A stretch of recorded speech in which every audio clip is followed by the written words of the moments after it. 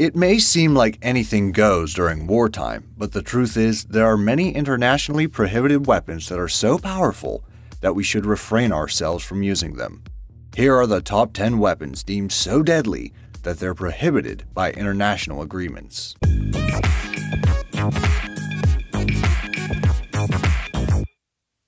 Number 10. Blinding Laser Beams Sometime in the mid 1990s, the US Air Force had funded research on how they can destroy eyesight at long distances using high powered lasers. After all, disrupting the vision of your enemies could help tip the scales of war.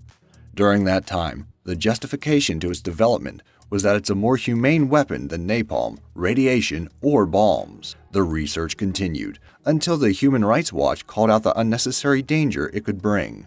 Understanding its impact, the United Nations prohibited the use of laser beams when it adopted the Protocol on Blinding Laser Weapons. While the treaty was created over two decades ago, its lessons are still felt to this day. It's become the precursor of preemptive banning of weapons that could prove to be very concerning for safety and security. For example, the discussion about lethal autonomous weapons is already leaning towards prohibition, even during its development, much like how it was with blinding lasers.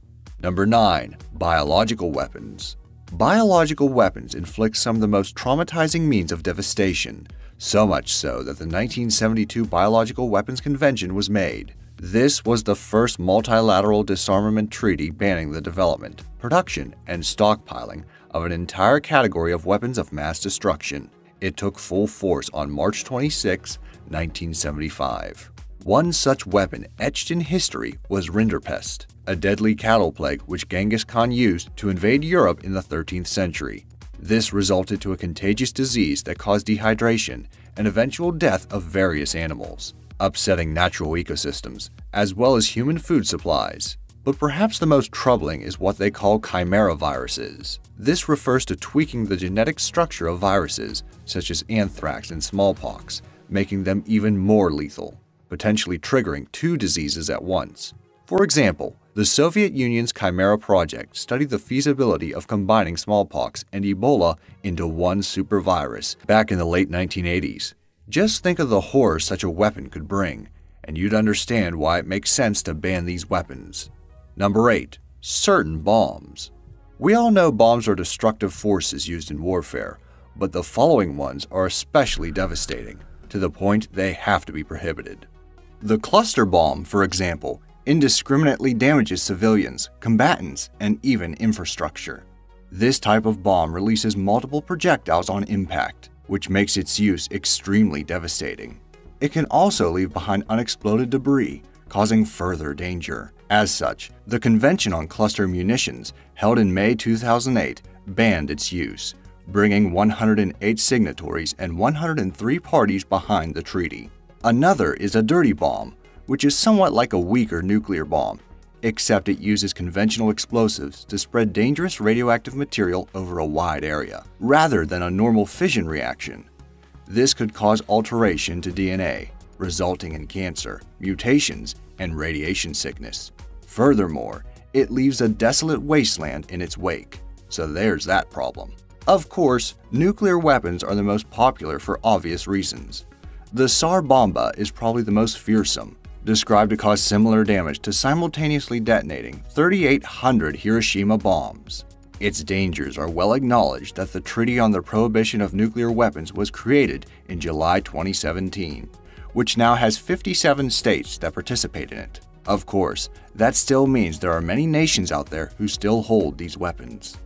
Number 7. Expanding Bullets Sustaining gunshot wounds can be deadly, but you know what's worse? Getting hit by an expanding bullet. Expanding ordnances, also given the moniker of hollow point bullets or dum-dums, are designed to mushroom upon entering a target, in order to stop the projectile from leaving the body. Unlike regular bullets that just penetrate a targeted area, expanding bullets cause maximum tissue damage as they spread out upon impact. This type of bullet was formerly used by US policemen to mitigate collateral damage, but was discontinued after understanding how lethal it could be. If that's not enough, some are coated with poison, which could lead to secondary infections if the expanding ordnance failed to go for the kill. Some even contain anthrax spores or botulinal toxin, which is rather scary in conjunction with the gunshot wound. Because of the imposing threat, this kind of bullet was banned under the Hague Convention of 1899. Even conservation, hunting, and veterinary groups have filed a formal petition with the Environmental Protection Agency to ban the addition of poison to bullets, as it can severely backfire on humans when we consume hunted animals. Number 6. Punji Sticks During the Vietnam War, a small and poorly equipped guerrilla group known as the Viet Cong was at a disadvantage as they faced American forces that had more advanced weaponry. But they were able to turn things around with a little bit of ingenuity using bamboos and hardwood, which were later dubbed punji sticks. Punji sticks are sharpened pieces of bamboo that are hardened by fire and boast lethal sharp points. To make them even more fearsome, they're sometimes coated with poison, making it a simple yet effective defensive strategy at the time. These sticks were enough to strike fear into the hearts of unsuspecting foot soldiers who dared to venture into the lush jungles especially since they were hidden almost everywhere as booby traps. This weapon's notorious reputation gave it a spot in the 1980 Geneva Convention, where this type of weaponry was banned. Punji sticks were deemed to be excessively deadly, and it was agreed that they have indiscriminate effects brought about by their poison coating. To date, there are 50 signatories and 125 parties that stand behind the treaty.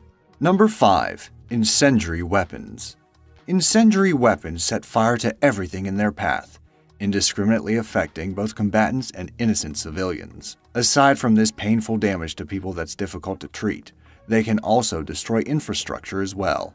Their danger is acknowledged worldwide, so much that over 110 nations participated in the 1980 Convention on Incendiary Weapons.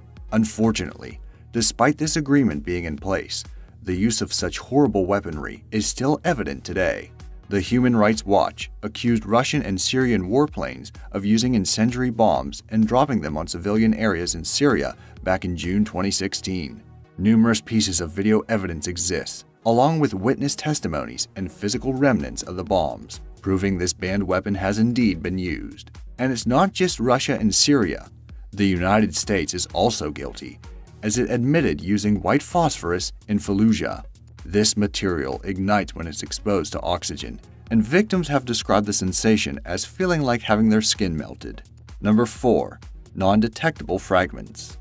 As the term implies, this type of weapon cannot be seen by normal diagnostic procedures. The most common examples include minimal metal mines, mines constructed of mostly plastic, wood, or glass, so that they can't be detected by conventional metal mine detectors. This makes them very troublesome. Consequently, they are prohibited from use as per Protocol 1 of the 1979 Convention of Conventional Weapons. The most pressing reason they're banned is because they make it incredibly difficult to treat victims of these weapons. Because non-metal fragments are so difficult to find, surgeons have a challenging time trying to locate every piece. This leads to unnecessary suffering for the victim, since there's a huge chance some pieces are still left unaddressed. Their lack of metal also means the mines are extremely difficult to detect with metal detectors once a conflict has been resolved. Hence, they'll potentially cause unnecessary harm to civilians in the future. The use of landmines, especially those with non-detectable fragments, is so bothersome that over 80% of the world's countries are signatories to a treaty banning it. While there are a few countries who aren't part of it, they don't use or produce weapons with non-detectable fragments. Number 3. Twisting Blade any knife can cause mortal damage to anyone it stabs, but nothing could compare to the damage inflicted by a knife like the Yag Commando Integral Tri-Dagger Fixed Blade. Its defining features is its three edges that twist from tip to the body, so it's hard not to notice it. While other knives have multiple uses like cutting cords, preparing food, and many more, this twisting blade apparently has only one sole purpose to kill. They say that if you wish to kill someone with a normal blade, you need to twist the knife after you've stabbed the poor victim. The twisting blade saves you that extra step, making it the ultimate close-range killing weapon that leaves nasty wounds which prove difficult or impossible to stitch up. That description in itself is enough for it to be covered in Protocol 1 of the Geneva Convention. It says, it is prohibited to employ weapons, projectiles, material, and methods of warfare of a nature to cause superfluous injury or unnecessary suffering. Excessive injury? Check. Extreme suffering? Another big check. Number 2. Brass Knuckles If you've seen the film Constantine or the TV show Sopranos, you may have already seen brass knuckles in several fight scenes. Despite how they're being glamorized, though, they're actually prohibited in some states. States like California, Michigan, Illinois, Vermont, and South Carolina have banned the use of brass knuckles, and for good reason. While they aren't as deadly as most of the items discussed in this list, they can deliver serious injuries, from gnarly cuts to permanent eye damage and broken bones. Contrary to what its name implies, this handheld weapon can also be made of acrylic steel or hard plastic. Yet despite being widely prohibited, some individuals are able to have one provided they acquire necessary permits. Bouncers and bodyguards are usually authorized to legally carry and use them when the job requires. Just another reason not to mess with a bouncer. Number 1. Chemical Weapons There are various chemical weapons in existence, such as a tear gas used for riot control, mustard gas, which became popular in World War I, and sarin, a toxic nerve agent. But they can't hold a candle to some of the deadliest ever made. VX is considered the deadliest of the bunch and is 10 times more potent than sarin in terms of lethal capabilities. Upon contact, it disrupts the body's signaling between the nervous and muscular systems, leading to symptoms such as confusion, convulsions, loss of consciousness, paralysis, respiratory failure, and eventually death. This led to the creation of the Chemical Weapons Convention of 1993, detailing that the production and stockpiling of VX is strictly outlawed, yet it has still been used.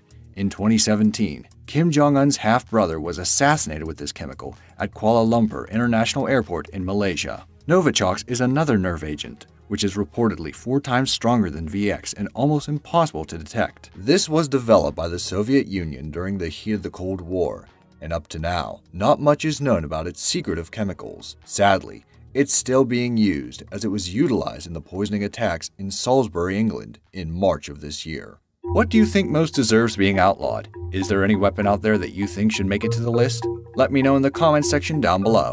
Thanks for watching.